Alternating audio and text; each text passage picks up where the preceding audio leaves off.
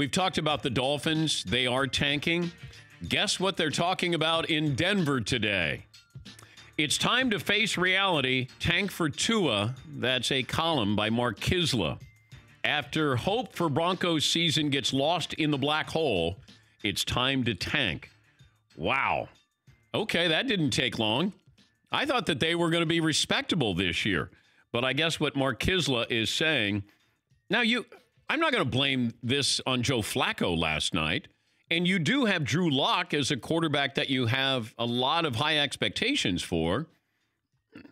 I know that they've had a hard time developing their own quarterback here, but now you're going to tank for Tua. I think I think uh, Denver is a little too good to tank. Like Miami, they're really bad, and they should be uh, able to tank a little bit easier than Denver. Yeah, Paul. How does Mark Kiszla advocate the team tank? Does because you can't tell him not to play hard and can't tell him not to try. So is he saying trade Von Miller for draft picks? Because that would be how you tank. Let's see. Let's Right? see what he says. Let's see. Uh, but with wide, uh, eyes wide open, a realist can see the truth about Denver's team that would probably be better served by finishing 4 and 12 this season than scratching and crawling to seven victories, which would leave all the franchise quarterbacks expected to be available in the uh, next draft out of John Elway's reach. Before the kickoff, Elway could be seen chatting up Guy Fieri on the field. Maybe Mr. Diners, drive ins, and dives should be given a shot at quarterbacking the Broncos. Fieri can't throw a football, but at least he can sling some hash. Um, yeah, the battle cry for the remainder of the 2019 season tank for Tua. It's a little too late for that because you brought in Flacco. I'd like to find out what you have in Drew Lock. Yeah, I know everybody thinks that Tua is the answer here. I, okay. I mean, is is Jalen Hurts now a legitimate NFL quarterback? Because the newest odds are it's it's Tua and Jalen Hurts for the Heisman.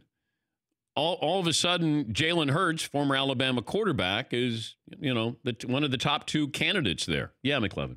I'm down with this take because the Broncos are old. They're like, an, where are they going? I mean, Von Miller's old. Chris Harris is Okay, old. how do you do this? is old. How do, how do you do this? This has got to be orchestrated. There- There's got to Go be. to Drew Lock.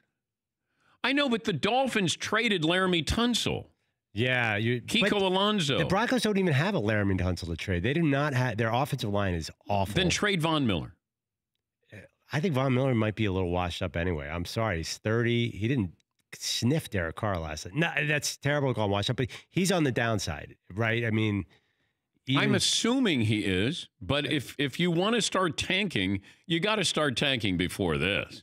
You're absolutely right. Yeah, I mean, they're gonna they're gonna special teams defense their way to a few. Von Miller will have some big games, but generally, they, aren't they in limbo? Like you always say, an NBA team shouldn't be in limbo. no, you don't want to be one of those NFL teams that has six or seven wins.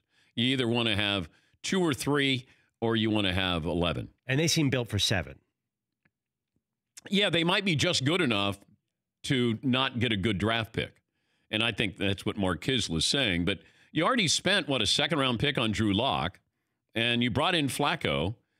I, I'd worry about other things if, if I was Denver.